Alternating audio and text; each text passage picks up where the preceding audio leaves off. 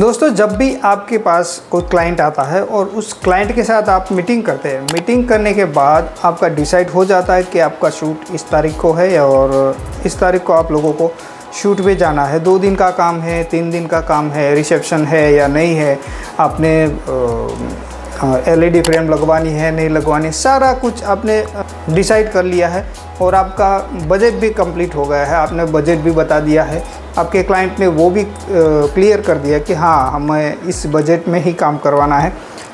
वो सब होने के बाद जब काम ख़त्म हो जाता है और उसके बाद आपको एल्बम और पेन ड्राइव जब डिलीवर करना होता है, उसमें बहुत लेट हो जाता है। जैसे कि समझो कि आपने क्लाइंट को बोला कि आप हमें फ़ोटोज़ को सिलेक्ट करके दीजिए।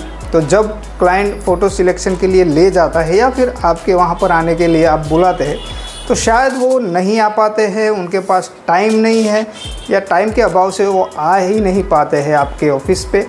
और अगर आप उसको पेन ड्राइव में दे रहे हैं तो वो कुछ ऐसा होता है कि वो घर पे ले जाते हैं पेन ड्राइव दिखता नहीं है करप्ट हो जाता है, या फिर उनके पास टाइम नहीं है तो उसी के बीच छः महीने चले जाते हैं। जब छः महीने चले जाते हैं, तब क्लाइंट के पास बोलने को होता है कि आपने हमें अभी तक पेन ड्राइव या और हमारा एल्बम नहीं दिया है। वो आपको बोलेंगे, आप बोलेंगे कि आपने हमें सिलेक्शन ही नहीं दिया।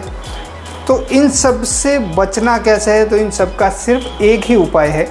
आप लोगों को जब बजट देने की बारी आए, आप लोग जब बजट देते हैं तो बजट के अंदर आपको जो एल्बम का जो खर्चा होता है मतलब जब आप शूट करके लाए तो एल्बम की प्रिंटिंग डिज़ाइनिंग इन सब का खर्चा आपको निकाल देना है। उनसे बात कर लेनी है सबसे पहले कि आप जब भी हमें सिलेक्शन करके देंगे तो हम आपका जो एल्बम का जो खर्चा है मतलब जो प्रिंटिंग का और डिज़ाइनिंग का खर्चा है, वो बाद में आपको देना है, अगर आपको प्रिंट करवाना है तो।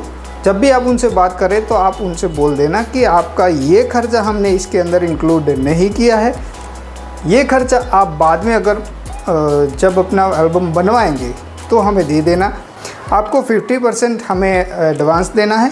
बाकी का जो 25 परसेंट है, वो जब हमारा काम ख़त्म होगा, तब आपको देना है।